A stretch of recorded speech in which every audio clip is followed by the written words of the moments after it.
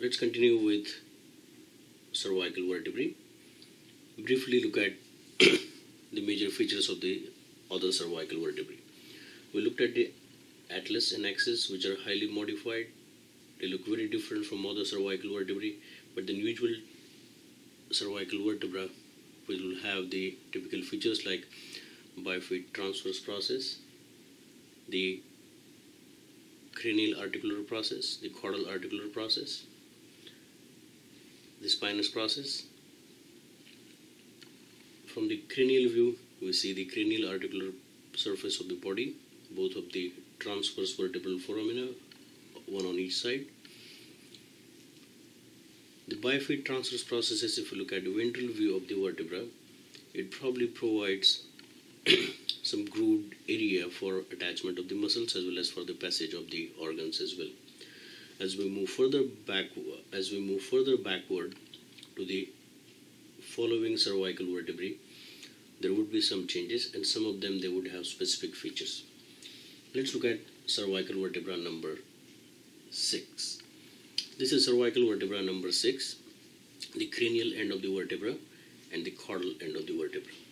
The caudal end, as usual, we see the concave articular surface of the body. Cranial end, we see the convex articular surface of the body. The transverse foramina are seen. Now, in sixth cervical vertebra, this is the last vertebra which is going to have the transverse foramina. The transverse process is still bifid. The ventral part is laminated, which is more flat, which extends further below and also has a little process coming off, moving more or coming off more laterally. The cranial articular process is seen with larger articular area. The caudal articular process is seen with articular area located on the ventral surface and the spinous process, process is seen. And that's why because of its appearance, this vertebra is compared with sled. Because of these two transverse processes, as they have part move, uh, extending laterally as well as ventrally. And that is one of the typical feature of the sixth cervical vertebra which can be used to distinguish this vertebra from any other given vertebra, a cranial articular process of the body of the vertebra. But then most important feature here, it has lost the transverse foramina. The transverse vertebral foramina are not present in the seventh cervical vertebra. Instead, it has a very typical feature which provides articulation for the head of the first rib which is costal fovea, specifically the caudal ones. Now, this is the caudal view of the seven cervical vertebra. Both of those parts, which are indicated in green color, they would be articular areas for the head of the rib. Here we have smaller articular areas which are seen for articulation of the head of the rib.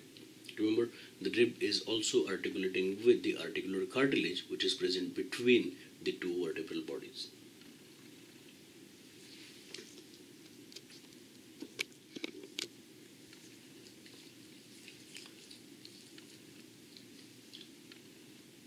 Let's now look at the um, thoracic vertebra of the dog. Here we see typical thoracic vertebra which has very long spinous process.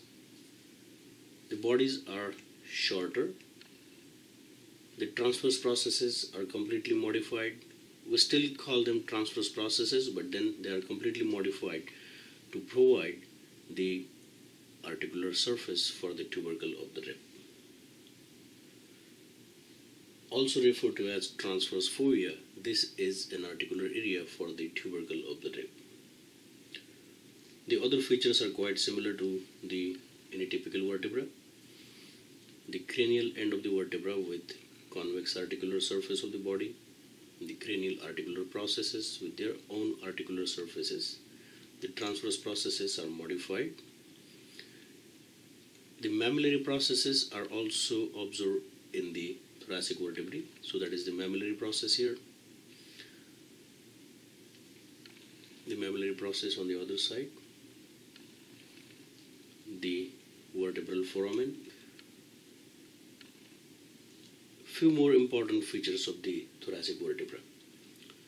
We have highlighted two spots on this vertebra, one at the cranial end of the vertebral body and one at the caudal end of the vertebral body. Those are very closely associated with the cranial articular surface of the body as well as caudal articular surface of the body.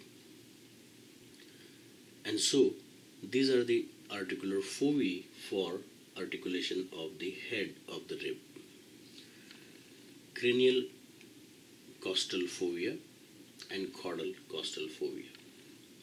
The both cranial and costal caudal costal foci are present up to the rib number 10 but then from rib number 11 12 and uh, in, in rib number 11 12 and 13 the rib does not articulate with the preceding vertebra and now we're looking at the typical thoracic vertebra of the dog the lateral view the cranial end of the vertebra and the caudal end of the vertebra.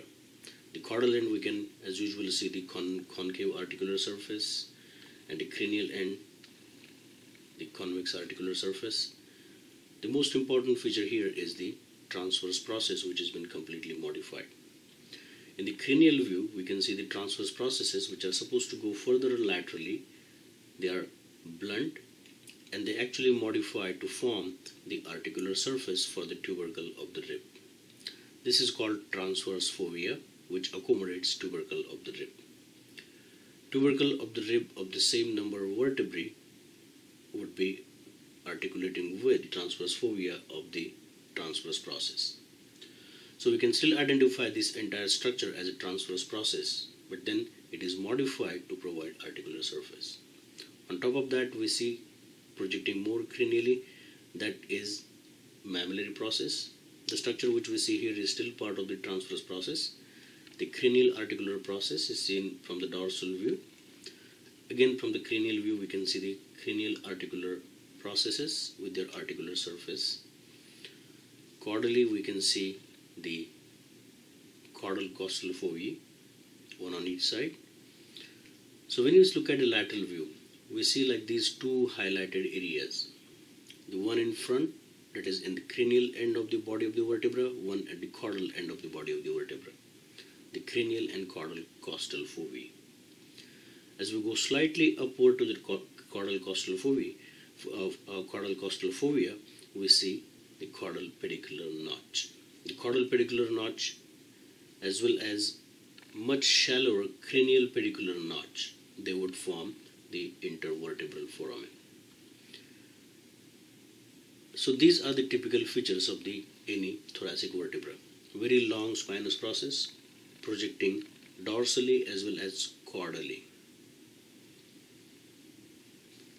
Modified transverse processes which are specifically for the articulation with the tubercle of the rib and the cranial and caudal costal foci for articulation with the head of the rib.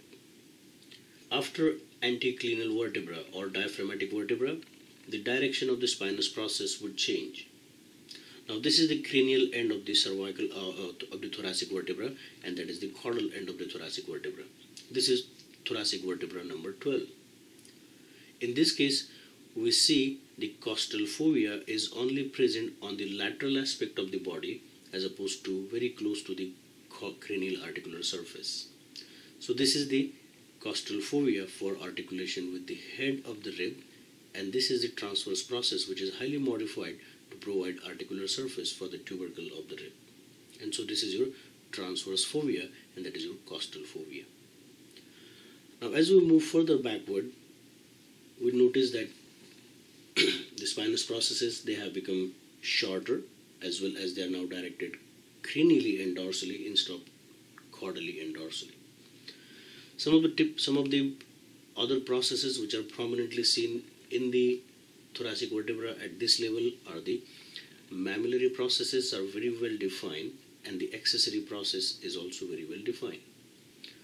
Now from the caudal view of the vertebra you can make difference between the caudal articular process both of those, one on each side, from the accessory process of the vertebra. The accessory processes are located caudally. They are pointing caudally, but they are separate from the they are separate from the caudal caudal articular processes. From the cranial view, we can also differentiate mammillary processes from the cranial articular processes. This is the articular surface of the cranial articular cranial articular process everything which projects dorsal to that is your mammillary process. So from the lateral view, we can differentiate the cranial articular process as this area and the mammillary process as this area. So remember your mammillary processes are always located cranially and associated with the cranial articular processes of the vertebra while the accessory processes are always present caudally and those are associated with the caudal articular processes. Now at this point we have seen the cranial and caudal costal fovea are gone. Instead we only have one costal fovea which is present on the lateral side of the vertebral body.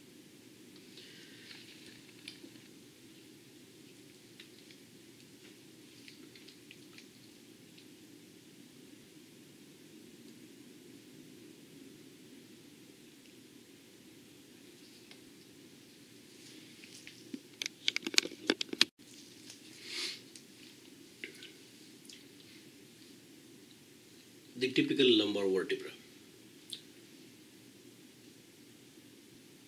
This is the typical lumbar vertebra. Let's look at the second lumbar vertebra as an example. Here we see the lateral view of the second lumbar vertebra. The bodies are longer as compared to the thoracic vertebrae. The transverse processes are back, but they are much simpler as compared to the cervical vertebrae extending on both sides. We can see them in the cranial view. That is the transverse process of the second lumbar vertebra, the vertebral body, the vertebral foramen, the cranial articular process, and the articular surface of it, mammillary process, mammillary process.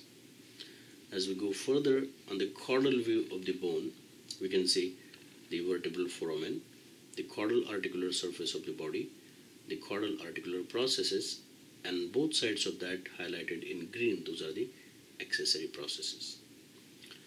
Let's go back to the lateral view with cranial end of the vertebra and the caudal end of the vertebra.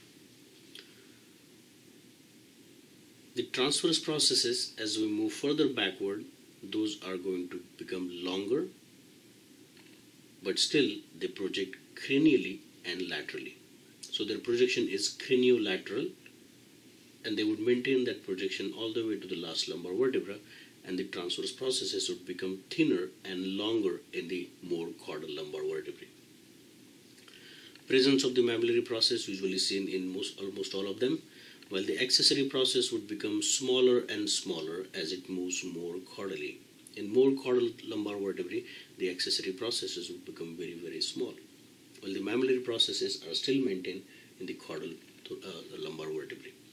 The spinous process is short, blunt, as well as it points or it is oriented cranially and dorsally.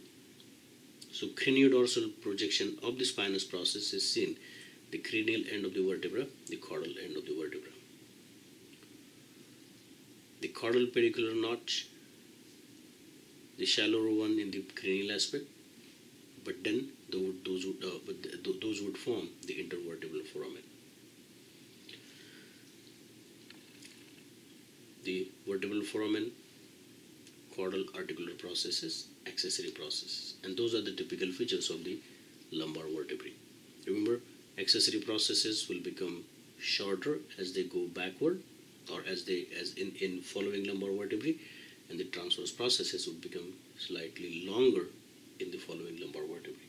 So let's look at one of the uh, more caudal lumbar vertebra.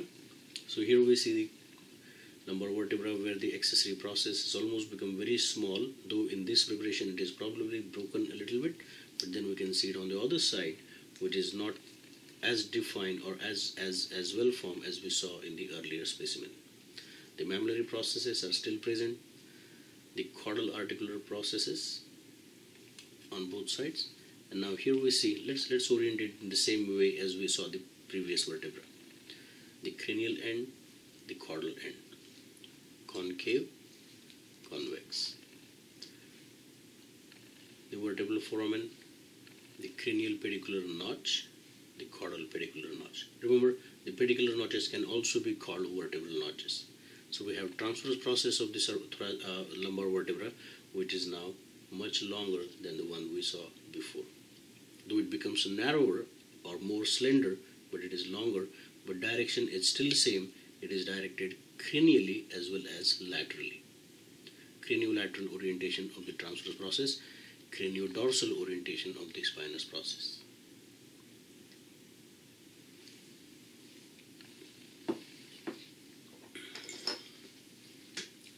This is also one of the lumbar vertebra where we have tried highlighting different processes and their relation. Here the accessory processes are completely gone. So it would be your either sixth or seventh cervical uh, lumbar vertebra. And what we see here, uh,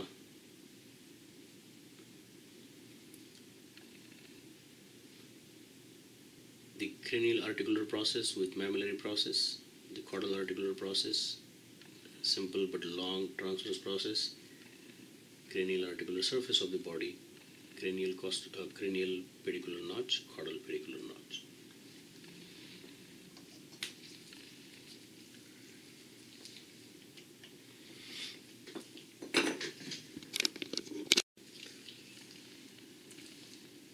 Sacrum of the dog. So in this view, we see the lateral surface of the sacrum. The sacrum is formed by fusion of three different sacral bones and so the different processes of these sacral vertebrae are also fused with each other. As in the dorsal view, we can see the on both on both lateral sides we see fusion of the all transverse processes, which forms the wing of the sacrum, cranial most part of the fused transverse processes, which is much wider. It's called wing of the sacrum. As we move further caudally, it becomes more flat and tapering wing of the sacrum is in contact with sacropelvic surface of the ilium and so here it causes or it forms the sacroiliac synchondrosis as well as synovial joint between the wing of the sacrum and wing of the ilium which completely forms the sacroiliac articulation. As we mentioned earlier sacroiliac articulation is combination of cartilaginous joint and synovial joint cranial view of the sacrum, we see the vertebral foramen. Here we see the cranial pedicular notch. Then we have the cranial articular surface of the body, which is also called, or this part of the bone is also called base of the sacrum. Along the ventral part of the articular surface, this part is called sacral promontory ventral surface of the sacrum or pelvic surface of the sacrum, dorsal surface of the sacrum. In the dorsal view, let's move a little bit laterally or see it from the lateral aspect so we see the spinous processes. All the spinous processes are fused to each other to form the median sacral spine. This structure is palpable on the live animal. As the sacral vertebrae are fused to each other, the spinal nerves they exit the neural canal by means of two foramina uh, on the dorsal aspect and ventral aspect. These two foramina would allow dorsal branch of the spinal nerve and ventral branch of the spinal nerve to, to come out of the neural canal. And so we have two such foramina on each side, on the dorsal aspect as well as on the ventral aspect. So these are the, on the ventral aspect, those are called pelvic sacral foramina on the dorsal aspect, those are called dorsal sacral foramina. The cranial most vertebra, which takes part in that fusion, retains its cranial articular surfaces, but those are slightly modified. The caudal articular processes of the lumbar vertebrae or the last lumbar vertebra are going to articulate here.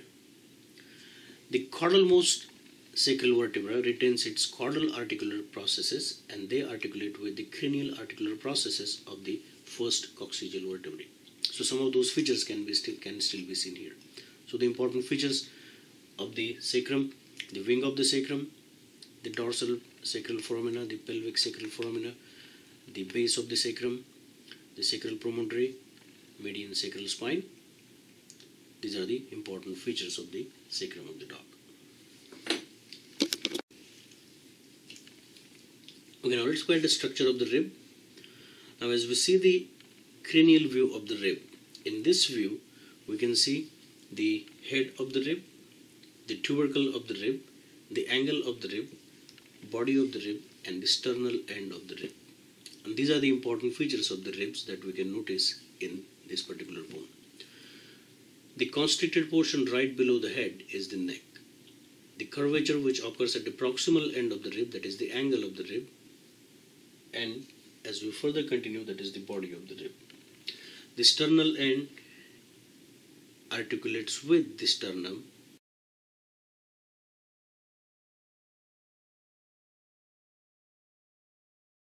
And as we know as long as it is directly connected to the sternum we call those ribs sternal ribs.